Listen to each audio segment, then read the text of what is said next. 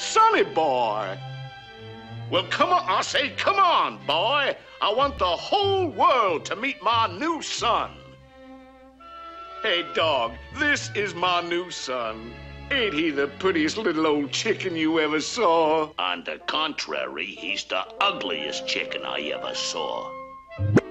Now look what you've done. You've given him a complex. Now, now, son, that nasty old dog didn't mean what he said. Of course not, kid.